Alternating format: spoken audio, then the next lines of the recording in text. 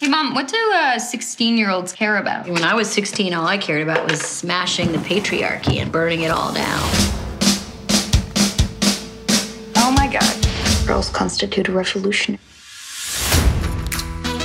Did you hear rankings are already starting? Emma Cunningham's just gonna get ranked most bangable for the second year in a row. Kiera Pascal for best ass. Caitlin Price will take best rap. It's so nice not to be on anyone's radar. Totally. You gonna miss me? Seriously? We going? Stop. Oh. Can I help you? I don't know, can you? He's bothering you. He's harassing me. If you use that word, that means I have to do a bunch of stuff. You know that your school is weird, right? Ignore Mitchell. If you keep your head down, we'll move on and bother somebody else. I'm gonna keep my head up. Hi. Why have we all accepted it? Like no one even blinks.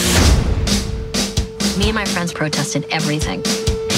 We made a ton of mistakes, but you're glad you did it all right. Of course. What are you gonna do? Nothing? Whoever wrote Moxie is a badass. You know what's messed up? I got sent home for wearing a tank top, meanwhile Jason is constantly shirtless. People refuse to call me by my new name. I don't like being voted best ass. It says to draw hearts and stars on your hands to show support. That's hot. All the boys here could use all the help that they could get.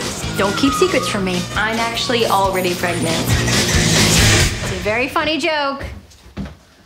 Right? I would love to know who started Moxie. And who will they go after next? This seems like a women's issue, and I'm going to stay out of it. If you're doing nothing, then you're part of the problem. Noticing someone filming right now, and uh, I have to go to the bathroom so bad.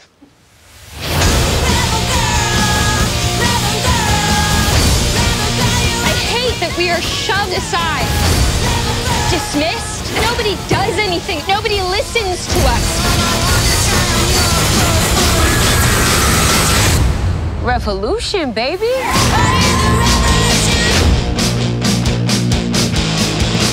Hey, ladies first. Or, or can I can I say that? Or get? Do you want to go first? Yeah. Yeah. Thanks. Absolutely. Oh